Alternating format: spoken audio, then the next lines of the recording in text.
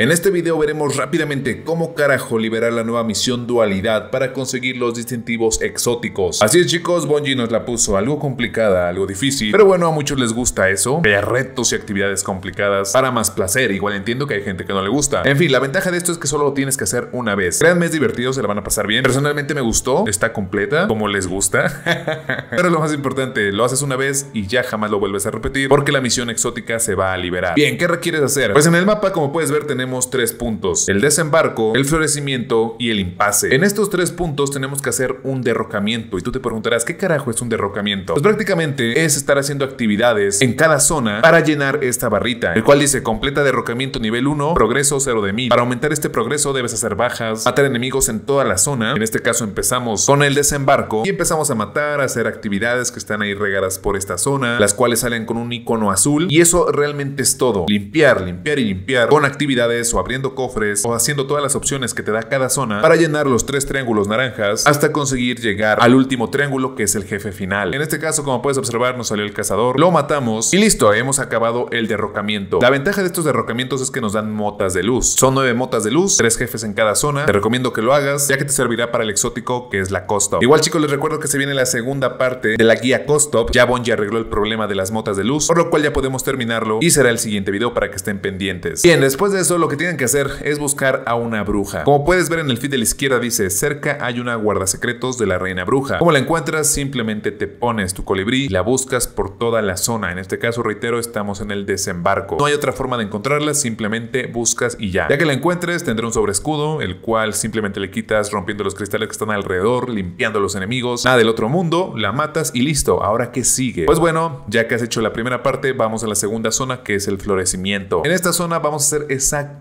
lo mismo. Limpiar, hacer actividades, matar enemigos y llenar los triangulitos que están a la izquierda para liberar al jefe final. Entre comillas son tres fases antes del jefe final, el cual te puede tomar 10 minutos aproximadamente y luego saldrá el jefe. ¿Qué vas a hacer? Exactamente lo mismo, lo matas, así de sencillo. Pero antes te recomiendo que aquí puedes aprovechar varias cosas. Encontrar plumas que están ahí regadas, hacer los cofres de oscuridad para conseguir los fragmentos de oscuridad, entre otras vertientes, además de probar armas. Ya que lo matas, te saldrá el mismo mensaje que hay una bruja por ahí regada. Y lo mismo, si vas en escuadra, 3, 2 personas, les recomiendo que se dividan y busquen a la bruja. Realmente sale por cualquier lado, no hay una zona en específico que hoy va a salir aquí, mañana va a salir aquí. Créanme que es un desmadre, no vale la pena buscar dónde va a salir, solamente búsquenlo. No les toma ni 30 segundos, máximo un minuto. Como consejo, regularmente están en cuevas o en lugares un poquito apartados de la zona central. En este caso, ya que la encontramos, la matamos y listo. Pasamos al tercer paso, el cual es ir al impasse. Exactamente lo mismo que lo anterior. Actividades, consigue cofrecitos, busca plumitas y hazte güey un rato, no pasa nada, no hay prisa. Y bueno, ya que mates al jefe, que reitero son tres por zona, en este caso en el impasse son dos subyugadores y un atormentador. Cada uno da mota de luz la primera vez que lo matas. Y bien chicos, ya hecho eso, lo mismo, una bruja. Vamos a buscar a la chingada bruja. Aquí se nos tomó un poco de tiempo, pero bueno, al final la encontramos. Ahora chicos, ya que lo matemos o la matemos, ¿qué es lo que sigue? Pues prácticamente seguir las señales. ¿Cuál es la señal? Una luz verde que sale en el cielo. En este caso volteamos hacia arriba y vemos esa luz verde, la cual si nos ubicamos en el mapa nos manda al florecimiento.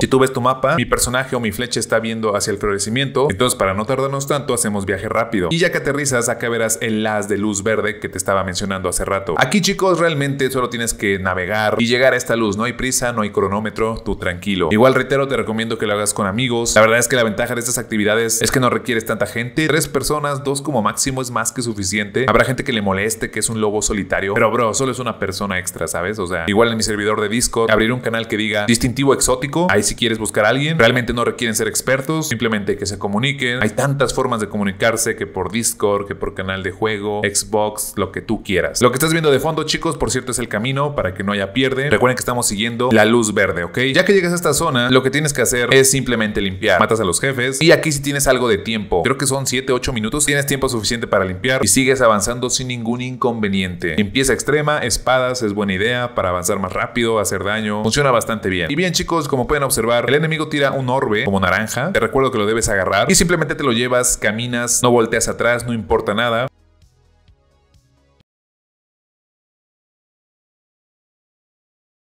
Y llegarás a esta zona en la cual debes interactuar. Ya llegada a esta zona interactuando, por fin se liberará la misión exótica Destino Dual. Acá chicos nos dice que hay demasiados jugadores para esta actividad, somos tres así que toca quedarnos simplemente dos. No te preocupes si vas con tu amigo, échense un volado, se sale uno y luego lo vuelves a invitar y hacerlo con él. La ventaja de esta misión es que es totalmente farmeable y al final te dará el distintivo exótico. Bien, ahora, ¿cómo hacemos esta misión? Porque sí, tiene su chiste, tiene sus puzzles, que la verdad son bastante sencillos, pero obviamente la comunicación es importante. Bien chicos, al principio, empezando la misión, nos da de golpe una asignación, luz alineada o oscuridad. En este caso, en el feed de la izquierda pueden ver que dice luz alineada, por lo cual yo siempre voy a ponerme del lado de la luz y mi compañero del lado de la oscuridad. Nos subimos a esta plataforma y se activa, se abre la puerta y que comience la aventura. Como puedes observar, tenemos tiempo, 5 minutos, pero no se preocupen, es acumulable. Cada vez que vamos avanzando por fase nos van dando más tiempo. De hecho, nos dan bastante. Nosotros llegamos a la fase final con 20 minutos de sobra, así que no hay problema. Y más si ves este video lo vas a entender muy rápido y lo harás en el primer intento. En este caso empiezas con parkour a tope, limpias los monolitos, los cuales están enfrente, todos y cada uno de ellos, solamente límpialos y avanza. Aquí sigo recomendando espadas, encima de la montaña, lanzagranadas, disparo solar, el pulsos de vacío exótico, olvidé su nombre, cosas para limpiar. Bien chicos, ya que lleguemos y matemos al último ogro, puedes ver que hay una puerta cerrada, como siempre, puertas y puertas. Pues bueno, en este caso lo único que tienes que hacer es irte al fondo a la derecha, como puedes observar sale la zona de luz y como es una situación simétrica, tu compañero de oscuridad simplemente se va a la izquierda al fondo y encontrará también su círculo de oscuridad. Ya que limpia y se pone sobre este círculo, se abrirá la puerta. Aquí simplemente sigues derecho, limpias porque quieres, no es necesario, y llegas a esta cueva. Encontraremos la primera bandera, bastante útil para esta fase. Vale chicos, como pueden observar, aquí hay dos luces, oscuridad arriba, luz abajo. ¿Qué va a pasar? ¿Qué carajo vamos a hacer? Pues bueno, desde mi perspectiva, que va a ser muy parecida a la de arriba, no se preocupen, ahorita enfóquense en mi perspectiva, es matar enemigos, limpiar y mantener un poco la zona, y mientras vamos limpiando saldrán ogros, ogros con sobreescudo, muy fáciles de matar, nada del otro mundo, yo con Sima lo dormí de uno o dos tiros, y simplemente te mantienes consistente y limpiando. Al matar al primer ogro nos saldrá una mota de luz, como Gambito.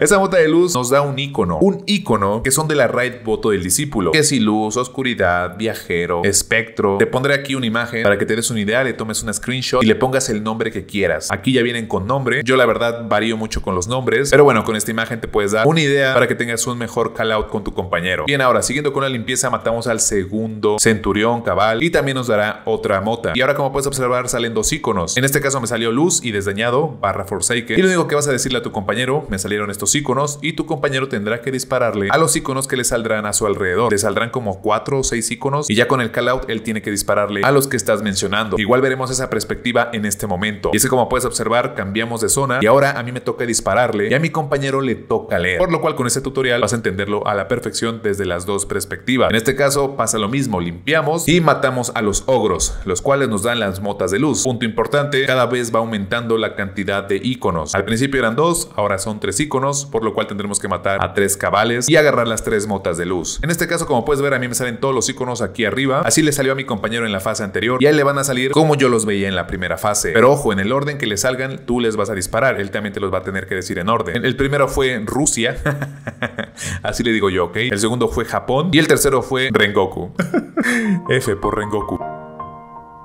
Y en este momento pasa lo mismo, nos teletransporta a otra zona en la cual tenemos la misma mecánica. En este caso, ahora a mí me toca leer y a mi compañero le toca disparar. Con la diferencia de que pasamos de 3 a 4 iconos. Así que simplemente aguantas, matas a los 4 cabales y ya que los mates, tendremos los 4 iconos, los cuales llamo serpiente, triángulo, cerebro y el dealer. Copas también funciona. Ya se lo dicto, él le dispara y listo, podemos seguir a la siguiente zona. Aquí chicos consta de un parkour muy interesante, divertido, pero como puedes observar también tienes tiempo. Yo la verdad no recomiendo que te presiones, relájate, no hay prisa. Te pongo el clip de fondo para que vayas viendo cuál es el camino a seguir y no te caigas como yo a cada rato. Mientras vas avanzando, también puedes encontrar cristales, los cuales están por ahí ocultos. Si ves uno, destruyelo, te va a dar un poco más de tiempo, ¿ok?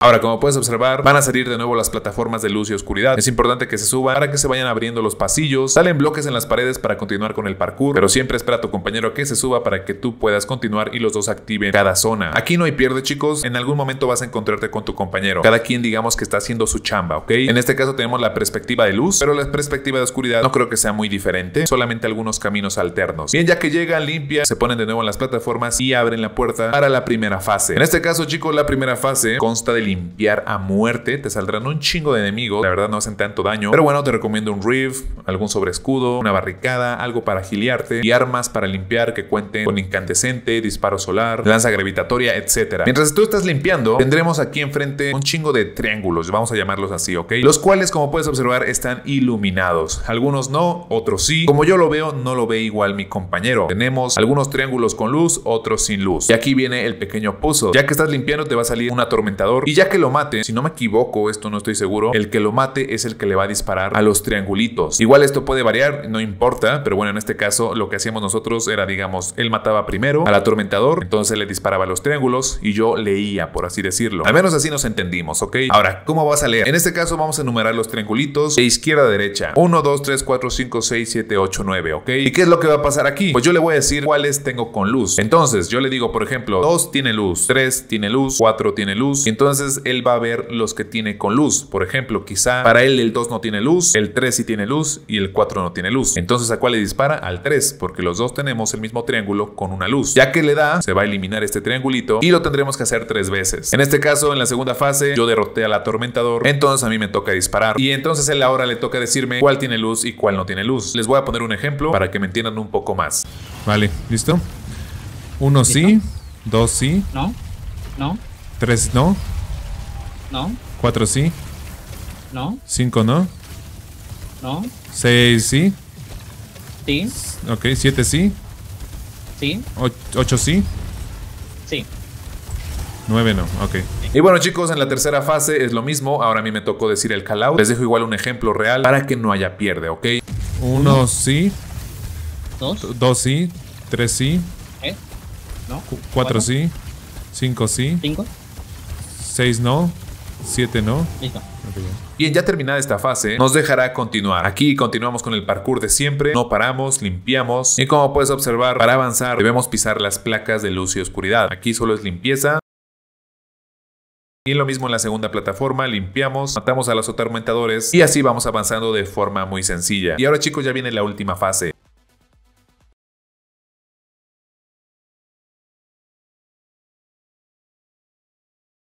¿Cómo funciona esta fase? Bueno, primero se activa subiéndote a las plataformas y aquí nos saldrán unas brujas de luz y oscuridad. Se salen simplemente limpiando. Pero antes de que salgan las primeras brujas, debemos bajarle la primera barra al jefe. Tiene tres barras, así que hacemos una limpieza normal. Le quitamos la primera barra, se pone inmune. Ahora sí, volvemos a limpiar. Salen las brujas y después de matar cada quien a su bruja, saldrán unos iconos arriba del jefe. En este caso a mí me tocó ver los iconos. Si los tienes en medio o arriba del jefe, tú vas a decir el call out para que tu compañero en la parte del medio les dispare a los iconos que tú estás mencionando. A mí me salió Rengoku, sombrillas y tierra. Ahorita verás mi perspectiva de cómo los destruyo. Igual a mí me va a tocar destruirlos. Así que le hacemos daño al jefe de nuevo, lo dejamos a una barra y desaparece. O sea, el jefe desaparece, como que se oculta. De nuevo le bajas la primera barra, se pone sobre escudo. Salen las brujas. Ahora, como puedes observar, ahí le salen los iconos y yo tengo que dispararle. Él me va diciendo cuáles son los iconos. Aquí los tengo en medio. Y listo, le quitamos la última barra. Y ahora sí, chicos, viene la parte más divertida o interesante, la cual es el reloj. Esto para sacarlo de su escudo y terminarlo de matar. ¿Qué tenemos que hacer? De nuevo otras brujas, otras pinches brujas. La duermes y ya tranquilamente te vas al reloj. Aquí creo que da igual a qué reloj te vayas. Yo en este caso me fui al del lado derecho y lo que hacíamos era decir lo mismo que en la fase donde salían los atormentados. ¿Qué triángulos tiene tu compañero con luz para que tú le dispares? En este caso mi compañero leyó. Aquí da igual el orden, yo también puedo leer o decirle cuáles tengo con luz y él les puede disparar. Pero en nuestro caso, él me dijo cuáles tiene y yo disparé. Entonces, es un reloj, chicos, muy sencillo. Arriba 12, 1, 2, 3, 4, 5, 6, 7, 8, 9, 10, 11, de nuevo 12. No hay pierde. ¿Qué tienen que hacer? Pues prácticamente tu compañero te dice, tengo 12 con luz. Tú dices, ah, huevo, yo también lo tengo con luz. Entonces le disparas. Y luego te saldrá la fuerza de la barrera se disminuyó. Esto tres veces. En la segunda te dice, no, ¿sabes qué? Tengo 3 con luz, 4 con luz y viceversa. Igual se reinicia, no pasa nada. Tómatelo con calma. Y entonces tú le disparas al que él tiene con luz. Como en este ejemplo de fondo. Es uno, dos, tres, cuatro, cinco, seis, recuerden. Dos, tres, 4 y 6. 1, 2.